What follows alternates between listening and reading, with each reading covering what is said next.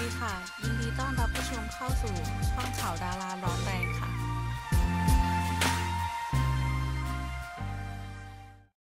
มดดำมอบมรดกอันมีค่าของคุณย่าให้น้องชาย ที่ลงเลือกตั้ง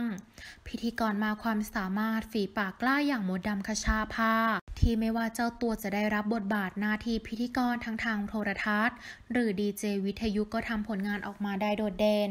มีเอกลักษณ์ไลฟ์สไตล์ของตัวเองจนมีแฟนคลับติดตาม การอ่านข่าวทั้งข่าวทางการเมืองหรือการเมาส์มอยทั่วประเทศ ซึ่งล่าสุดมดดำได้โพสต์คลิปมอบมรดกชิ้นสำคัญที่คุณย่า มอบไว้ให้ก่อนท่านจากไป